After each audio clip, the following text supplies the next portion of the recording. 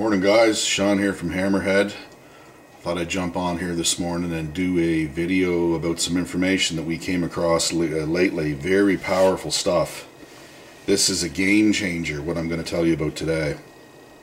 First off, I'd like to offer my prayers to uh, the folks down in the United States right now in Iowa and other places that are going through horrendous loss with a series of tornadoes that are ripping their lives apart down there.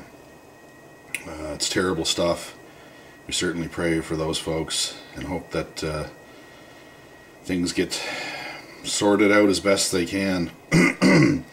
anyway, what I'm going to talk to you about today is something that uh, has plagued us uh, people that are living in the private for quite a while. And it's the fact that you go into court and uh, through a process called assumption and presumption, which is how the courts operate, they presume that you're the legal name, you're the name on the driver's license, the thing that they can act on, that thing that was created fraudulently by them uh, via the birth certificate.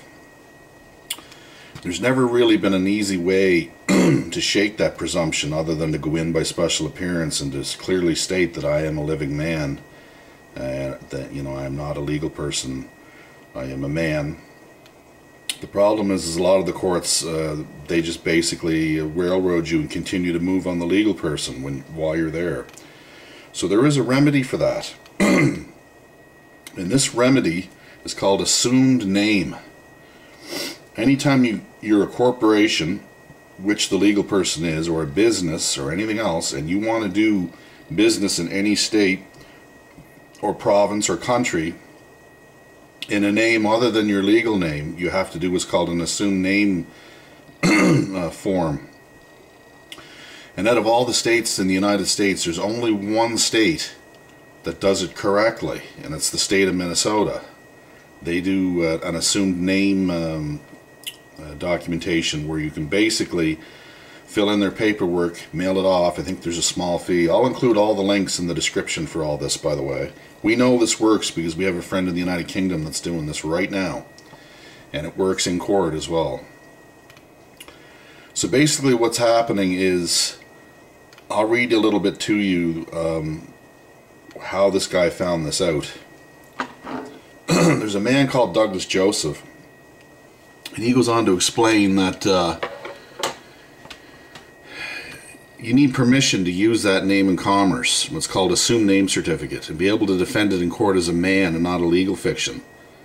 The first thing you have to understand is what a legal name is. A legal name is only used in the context of commerce, so it's business, right? That's why when you get pulled over on the side of the road, the officer asks for your driver's license because he wants to contract with you. He's looking to create joinder. It's business. Walmart's a legal name.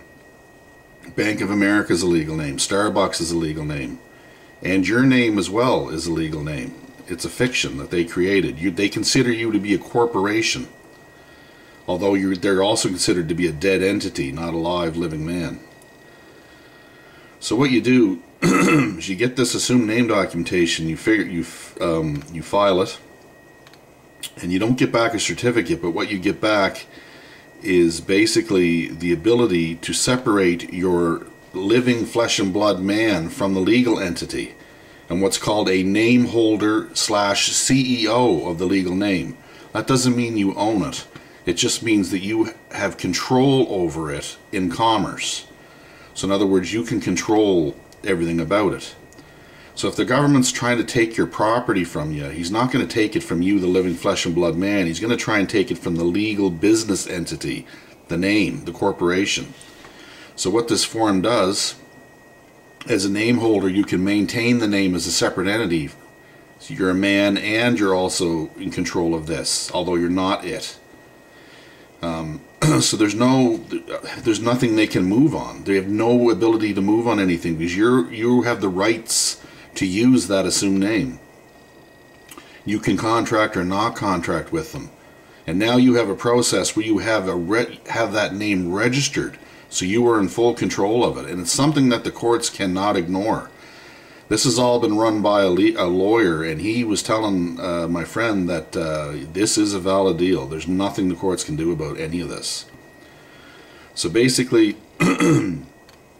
Again, Minnesota only state that in, in the union that uh, will separate the name properly.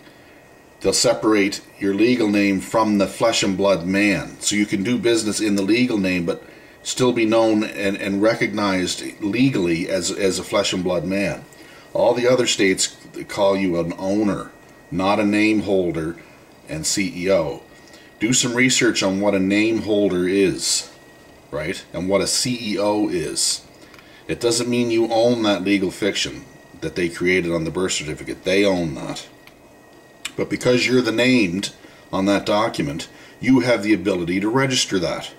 And when you register it with the, folks in Minnesota, you become the name holder and the CEO of that legal name, which means you have full control of how that is used in commerce or not used in commerce. So they cannot move against that, right? Um, you're, you're, you're signing on behalf of the registered legal name. So when you sign documents, you don't sign your name the usual way. You have to because you've been accustomed to signing it that way. What you have to do is you have to sign it um, in a different way, in a non-living legal fiction way. So in other words, um, you basically would have, say your name is Thomas Elliot Smith, you would put Smith lowercase comma Thomas Elliot. Okay, that's how you would sign that. In other words, the living man who is in control of that legal entity. I know it sounds uh, confusing, and it is. So uh, the PDF format files I give you in the description, you better do some homework and start doing some reading on it. We're going to do a video here soon on how to fill these forms out, which is going to be very, uh, very helpful, I'm sure, to a lot of people. So that's powerful stuff. So basically, you've, you've separated yourself from the fiction, so they can't do anything about it. Okay? They can't move on you as the man, the living flesh and blood man, and now they cannot move on you as the legal person because you have control over that. You've registered, and as the named on that document, you've gone and registered that now. So now the state or the province or the government or whoever is trying to move on you cannot move on you because you have control of that. That's power, guys. And the um, the implications of that are, if you think about it, are huge. You can now go go and open bank accounts with full control of that name. Um, it's limitless, really, what you can do with it now. And again, this isn't hearsay. This is all on first-hand knowledge. Okay, we have people that are using this now and have used it in court, and it works.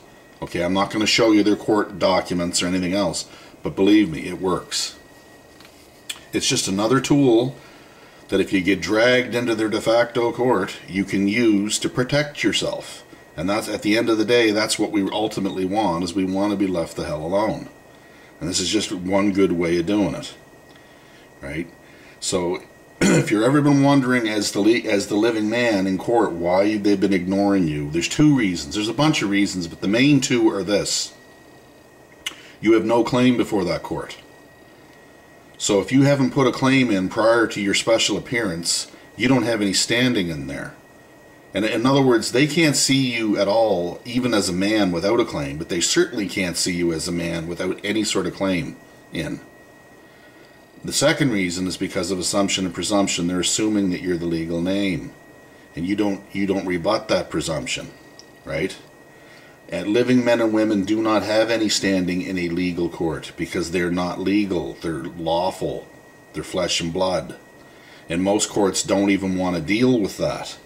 The minute you tell them you're there by a man by special appearance, the judge normally just freaks right out and they're either going to do one of two things. They're going to put a court date for later in the year, trying to gain jurisdiction over you. They're going to drop it or dismiss it, which you want it to be dissolved, not dismissed. Because if it's dismissed, it means they can bring it back at a future date. Dissolved means it's stricken from the record forever. The matter's settled. And or they they will um, try and move on the legal person while you're standing right there. They may even go so far as to issue a warrant for the legal person's arrest. And a friend of mine had that happen to him, and what he did is he surrendered the birth certificate right there. He goes, uh, Judge, I believe, or Bill, the judge, I believe this is what you're looking for. his birth certificate. This is the entity you're you, you're looking for, and he threw it up to the to the judge. He didn't like that at all. So anyway, that's all I get to show you for now. Read the documents I sent. And of course, we could use some help, guys. If you have any extra funds available, you can help Gordy and I go to court this week. We're going Wednesday. Uh, we would appreciate it. Um, it's a long trip up there. It's uh, almost six hours each way. And, uh, you know, plus not to mention uh, the, the, the paperwork from the CCC. We have to update our video streaming services. Um, we need to get better word processing equipment and um, we have to get Canva Pro is what we use to create the documents and whatnot and all that costs money and, and, you know we don't really have it. So anything you could you could spare to help out would be greatly appreciated. Um, but in any way um, any case we're doing this uh, for non-selfish reasons. We're doing it because we want to help folks. We genuinely do. So read this documentation and study it. And this is powerful, I'm telling you. This is the ticket. This is the ticket to be separate your flesh and blood man woman body from that legal entity. So in other words, they can't put inflict fines on you. They can't put duties on you, obligations, none of that. You can blow the lid right off of this thing with, with these papers. And just as a side note, when you get a membership to the CCC, Common Law Court of Canada, one of these assumed name forms is in your documentation uh, package for your bond so you can operate your private car on the road to protect you. It's like insurance, the, a bond.